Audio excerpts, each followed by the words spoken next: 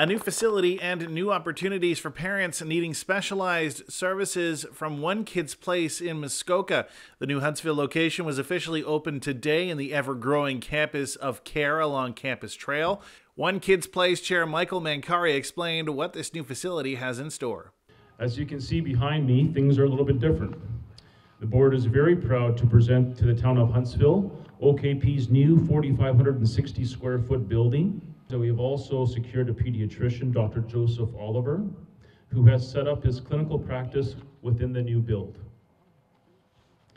The new facility has allowed OKP to extend its repertoire of services with the addition of a space for the development of activity of daily living skills, a Snoezelen room, and a fully accessible building including floor and ceiling lifts the Rotary Club of Huntsville also played a massive role in helping bring this project to life with a donation of over $25,000 to help build a sensory room. It's such an important addition to our community, not only for kids with autism spectrum disorder, but also families and kids with other neurological conditions and special needs.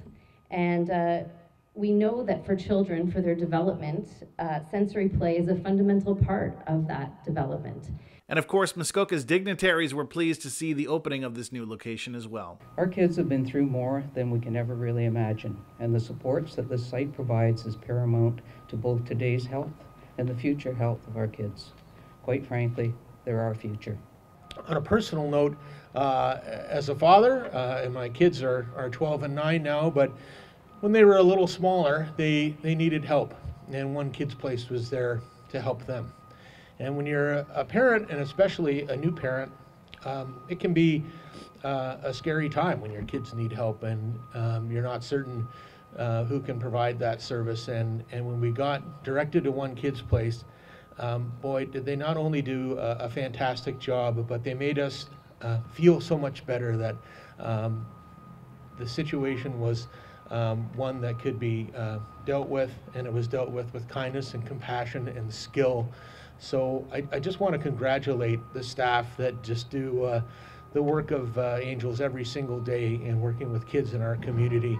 But most importantly is the families who have been relying on One Kids Place and now have more opportunity to get help for a wide range of needs for their kids. We are the Carnabys, and our son Quinn has been working with One Kids Place for over a year. Quinn has been diagnosed with an ultra rare genetic disorder called GANT. He is receiving multiple services here at One Kids Place, including occupational and physiotherapy, speech, and working with the AAC clinic. Quinn and many other children spend multiple hours here at One Kids Place, and it becomes a place they're very familiar with. For our children, those reassuring surroundings are an essential part of their intervention services.